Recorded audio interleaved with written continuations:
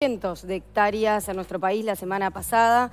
Concretamente, Maldonado y Calerores fueron los departamentos más afectados, donde dos focos concretos generaron importantes pérdidas en el Cerro del Toro y también en la floresta. Y en este marco generó muchas dudas la decisión que tomó Bomberos de no utilizar los aviones Hércules que pertenecen a la Fuerza Aérea, que de hecho el Ministerio de Defensa había puesto a disposición para controlar estos incendios. ¿Cómo se trabaja entonces en estos casos y qué perspectivas hay para lo que queda del verano? Lo vamos a conversar ahora con Ricardo Raño, director nacional de Bomberos, a quien le damos la bienvenida.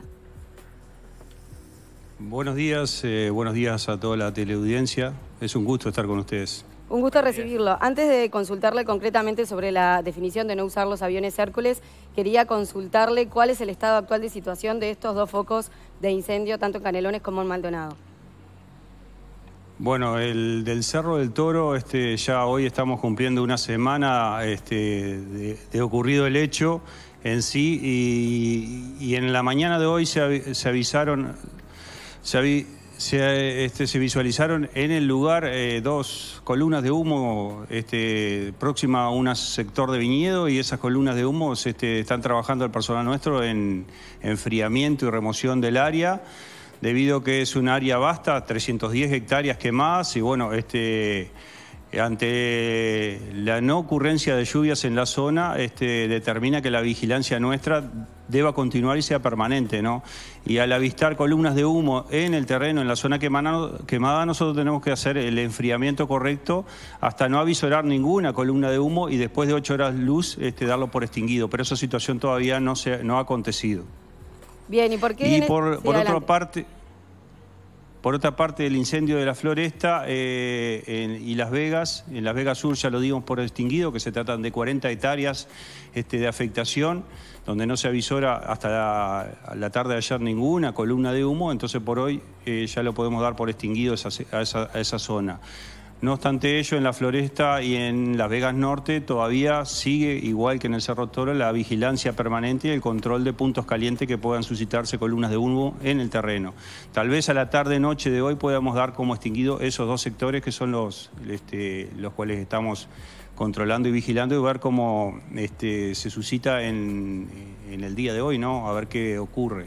¿Y por qué frente a esta persistencia que muy bien usted estaba explicando, del fuego en estas distintas localidades, Bomberos toma la decisión de no recurrir a los aviones Hércules que el Ministerio de Defensa puso a disposición. Bueno, hay dos situaciones particulares que tenemos que, que aclarar. Primero que nada, este, las situaciones del incendio del Cerro del Toro, que el incendio del Toro comenzó a la una de la madrugada del día, del día 24 de enero. Eh, ese incendio a la mañana de ese mismo día ya estaba en situación controlado. ¿Qué quiere decir esto? Que el trabajo arduo que realizó la maquinaria pesada de la Intendencia Municipal de Maldonado, al cual agradecemos profundamente porque hicieron un trabajo muy bueno mancomunado con bomberos, ampliando los cortafuegos existentes y circunscribiendo el área quemada del Cerro del Toro, determinó que el control de ese incendio lo tuviéramos a pocas horas de su comienzo. Entonces, en esos lugares particulares también coexistía la existencia de muchas personas colaborando, trabajando en el incendio, conjuntamente con bomberos, también otros organismos que se sumaron, las SAE del Ejército, por ejemplo, las brigadas y cuadrillas municipales, y la existencia de viviendas en toda la ladera del en la parte baja de la ladera del cerro, perdón, lo cual implicaba un riesgo considerable poder utilizar el medio aéreo, como ustedes bien lo dicen, del Hércules con las cajas, dado que bien, si es un, recurso que lo podemos disponer y es de muy buena utilización, es para otro tipo de eventos en los cuales no coexiste el riesgo de personas debajo, de maquinarias, de viviendas en la zona donde se arrojan o se pueden arrojar esas cajas, debido a que si bien son cajas biodegradables, no nos olvidemos que están contenidas en un pallet, que el no accionamiento de esas cajas podrían implicar que mil kilos podrían caer en forma compacta sobre una superficie y eso podría provocar un accidente o un incidente grave.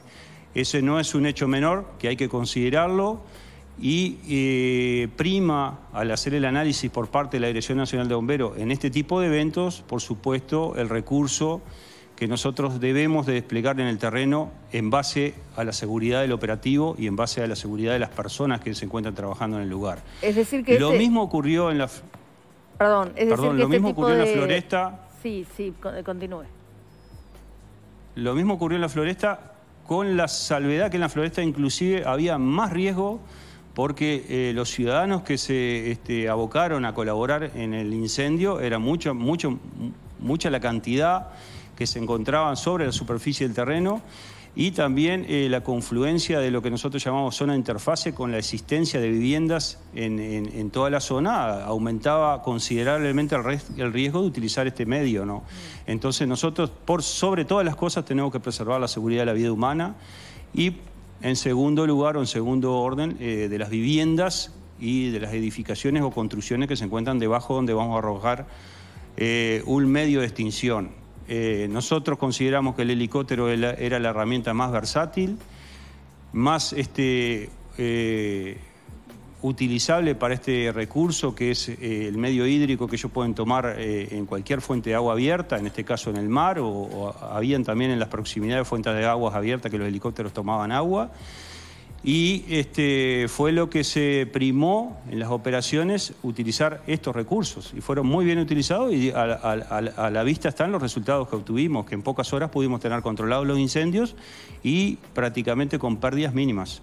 Riaño, si, le entendí bien, entonces eh, los Hércules solamente podrían utilizarse en caso de zonas, eh, de descampados, digamos, de zonas en las que no haya ni personal de bomberos, ni personas, ni viviendas. No exactamente que no existan personal de bomberos, porque lo que nosotros hacemos en esas condiciones, lo que hacemos es desplegar el personal para que los, los Hércules puedan actuar. Eso no habría inconveniente. Sí lo que es incontrolable en estos casos es la ciudadanía, porque la ciudadanía es dificultoso poder sacarla de los de los lugares o de los sectores donde existe eh, las proximidades de los incendios, donde están sus, sus fincas en juego, ¿no? Entonces, en esos lugares donde hay ciudadanos que quieren colaborar, que no lo podemos de ninguna manera, este, o es dificultoso poder este, eh, sacarlos del área del territorio, ahí tenemos que preservar la seguridad humana. ¿Ya eh, tienen identificado cuál fue el origen del incendio de la floresta? El origen del incendio de la floreta todavía está en etapa de investigación, al igual que el del Cerro del Toro. Este, nosotros al del Cerro Toro, este, la línea de investigación eh, viene dada en una línea este, con eh, eh, datos objetivos de focos diferenciados y distanciados, que fueron los principales que originaron este incendio, en los cuales hay una alta carga de poder existir la intencionalidad en esos focos, ¿no? Y en la floresta, bueno, en la floresta no sabemos todavía eh, eh, fehacientemente cuáles fueron los orígenes del, mismo, pero está en etapa de investigación y bueno, este, no atribuimos ya directamente a un factor intencional, pero bueno, sí indudablemente un factor humano que puede estar relacionado con un accidente, un descuido, una imprudencia, pero no directamente una intencionalidad como este, tenemos más este, objetividad en los datos este, que existen en el Cerro Toro y los indicios recabados. ¿no? La Dirección de Bomberos tiene las capacidades este, materiales y de dotación humana para enfrentar eh, las situaciones que tiene que enfrentar cada verano en el marco de un país que ha apostado mucho a la forestación, que tiene episodios de sequía recurrentes. ¿Cómo está Bomberos capacitado para, ese, para estas tareas? Y yo creo que la Dirección Nacional de Bomberos se ha venido capacitando permanentemente en virtud de los cambios climáticos que hemos, tenido que afrontar verano a verano. Esto es una continuidad que va a permanecer y sabemos que la realidad es esa, no solamente a través de la Dirección Nacional de Bomberos, nosotros venimos fortaleciendo nuestro sistema operativo a través del Sistema Nacional de Emergencia, interactuando con eh, los ECOE departamentales, el Sistema Nacional de, Emergencia lo que nos brinda la sinergia y, los apoyos logísticos para poder interactuar con nosotros y reforzar no solamente la parte logística, sino también recursos humanos. La SAE, que son los servicios de apoyo del ejército, permanentemente están confluyendo con nosotros en nuestra actividad. La Fuerza Aérea, este, la Fuerza Aérea Nacional también. La Armada Nacional se ha sumado en estos casos también este, a los aportes que ellos tienen de helicópteros para atacar los incendios. Y no obstante ello, también interactuamos con el medio privado, con la Sociedad de Productores Forestales, que nos ha apoyado incondicionalmente en todos aquellos este, incendios en los cuales este, ha tenido injerencias superficies forestadas comerciales. También hemos interactuado con todo lo que son las cuadrillas municipales, los ECOE departamentales y las cisternas y los servicios de proventos de agua que nos ha brindado OCE y también este, los ECOE departamentales. Yo creo que se ha conformado eh, desde principio de año una interacción importante en, los programas de, capacitación y entrenamiento en base al sistema comando incidente y eso es lo que nos ha dado la fortaleza necesaria para poder este, organizar el incendio forestal de una manera tal de que no nos vean superados los recursos humanos y logísticos en los cuales nosotros tenemos que trabajar. De, Ricardo, de todas maneras, no le, quería decir que han trascendido noticias de, falta de material, de carros bomba fuera de servicio. ¿Eso no, no es así?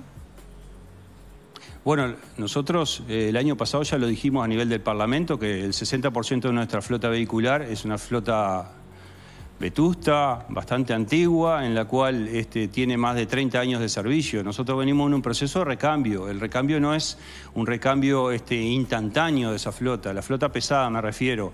Ahora el 24 de febrero ya nos anunciaron la llegada de, 24, de 20 camionetas con equipo polivalente, en el cual es un vehículo de emergencia de respuesta rápida. Y este, se nos confirmó también que en junio, julio de este año y en septiembre están llegando dos partidas de vehículos de flota pesada, 10 y 10, 10 urbanos forestales y 10 forestales. Cada vehículo de la Dirección Nacional de Bomberos tiene un costo no menor que oscila entre los 250 a 300 mil dólares. Es una inversión importante del Estado, un esfuerzo importante del Estado que la Dirección Nacional de Bomberos tiene que hacer un recambio progresivo de esa flota y no es un recambio instantáneo.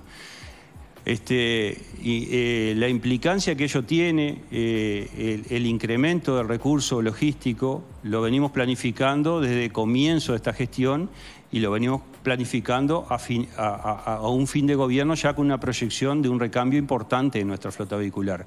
Pero es un proceso, independientemente de las necesidades que nosotros tenemos, que sí las tenemos, como así lo, también lo tenemos en el recurso humano, que siempre lo he dicho, que el recurso humano es una planificación, es un ingreso este, planificado de personal, porque el ingreso presupuestal no se da de un día para el otro, conlleva de la mano capacitar, entrenar a nuestra gente en un periodo de seis meses, y eso es progresivo también, no es una inyección abrupta de gente que se nos inserte en nuestras filas de un día para el otro. Entonces, eso también hay que tener en cuenta a la hora de de, decirlo, ¿no? Ricardo Raño, director nacional de bomberos, muchas gracias por estos minutos y ojalá con lo que reste se solucione lo antes posible. Por favor, gracias a ustedes. Muy, amable. gracias.